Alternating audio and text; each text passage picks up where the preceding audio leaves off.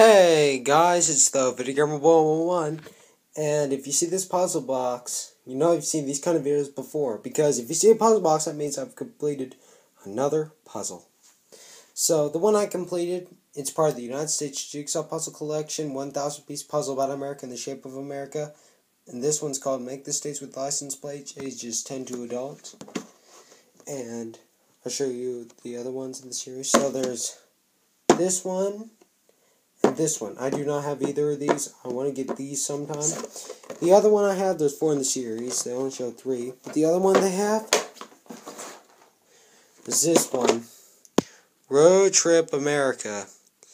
And in my opinion, if I can bring this in, this one, if you guys can decide which one to get, this one is easier than this one. This one is hard. I mean, if you guys want a detailed one, this is this is a puzzle for you, but if you like one with a bunch of colors, this is one for you. So, it's the same thing on the back.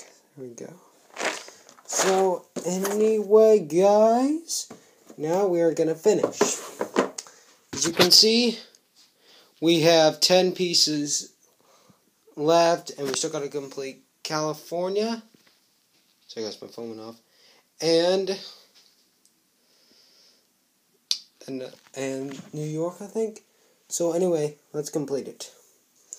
So there's one right there. So yeah, we complete New York, New York, dun, dun, dun. and now we're moving to the Old West, which means we only have nine more pieces left of California. So there it is,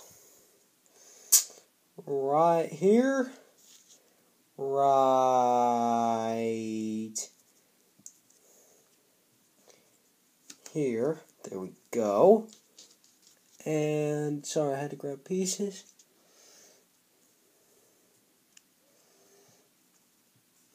Okay, sorry, just had to find where it is. So there we go. We got the border done, but California is still not yet done. We still have five pieces left, as you can see. So anyway, here we go. Four, three, two, one. There's one piece left, guys.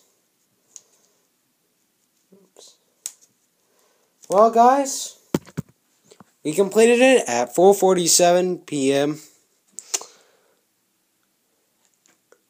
on August 24th, 2018, and this took me three days to put together, and I like it.